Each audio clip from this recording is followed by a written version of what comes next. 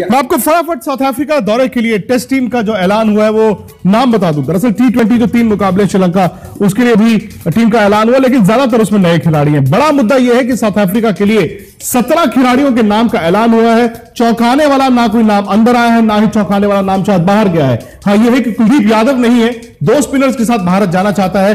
पार्थिव पटेल दूसरे wicket keeper होंगे, और साथ ही साथ जसप्रीत बुमराह, ये पांचवी तेज गेंदबाज। मैं फटाफट आपको बता दूँ कि जो 16 17 खिलाड़ी हैं साउथ अफ्रीका दौरे के लिए, अभी अभी ट्वीट भी किया मैंने, उसको देख लेते हैं। कप्तान विराट कोहली है, साथ ही साथ मुरली विजय, के एल राहुल, ये टेस्ट टीम का मैं बता रहा हूँ आपको, विराट कोहली कप्तान, Murali Vijay, K L Rahul, Shikhar Dhawan, Cheteshwar Pujara Ajinkya Rahane Rohit Sharma.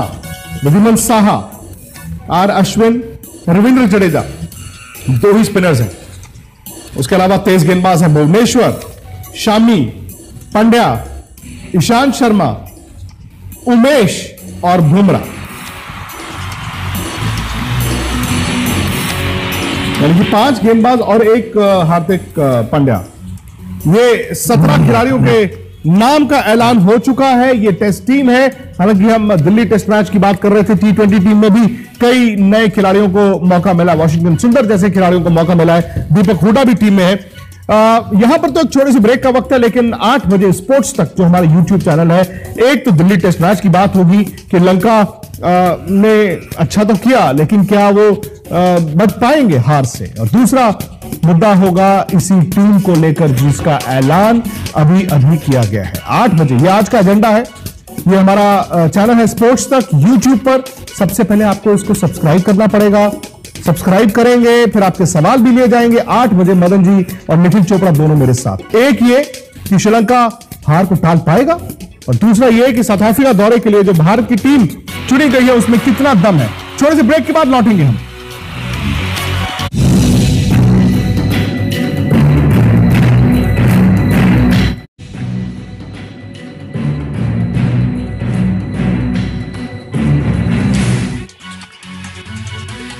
Delhi में आज ज़बरदस्त वापसी हुई है श्रीलंका की। दो बल्लेबाजों ने सौ बनाया, चंडीमल ने सौ बनाया, एंजलो मैथ्यूज ने सौ बनाया और फ़िलहाल वो अभी भी 180 रन पीछे है। एक विकेट हाथ में, दो दिन का खेल है, भारत को जीतना चाहिए। लेकिन अभी अभी बड़ी खबर यह है कि एक तो साउथ अफ्रीका जाने वाली टेस्ट टीम का ऐलान हुआ, उसमें सत्रह खिलाड़ी हैं। मैं आपको फटाफट वो टीम बता दूँ।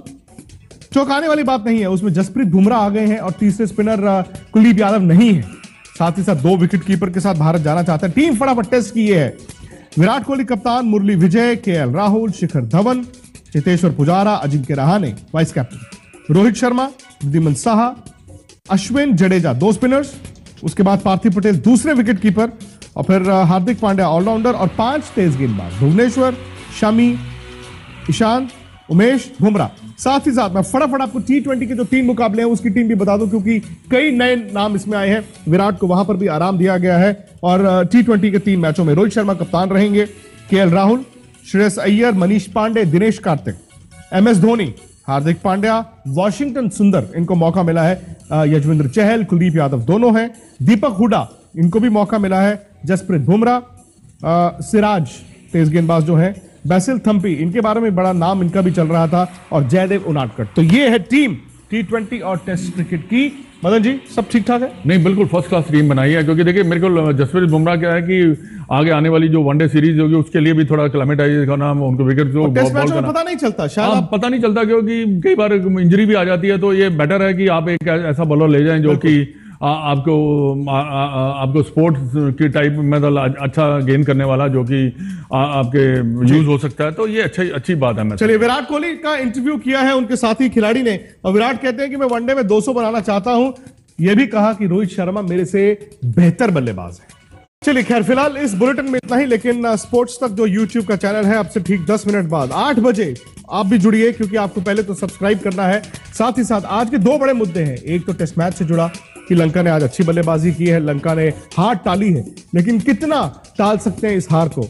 बड़ी खबर यह भी कि जो अभी साउथ अफ्रीका दौरे के लिए टेस्ट टीम का ऐलान हुआ और टी ट्वेंटी में तीन मुकाबलों में नए चेहरों को मौका दिया गया, उस टीम के बारे में क्या सोचते हैं मदन जी? ये ये दो मुद्दे हैं आज, आठ बजे। ये आज का एजेंडा है स्पोर्ट्स तक पर। जल्दी से सब्सक्राइब कीजिए, क्योंकि आप ज़ाहिर तौर पर टेस्ट मैच के अलावा टीम जो चुनी गई है, दोनों फॉर्मेट्स की, उस पर भी अपनी राय रखना चाहेंगे। आपके जहन में कई सवाल होंगे।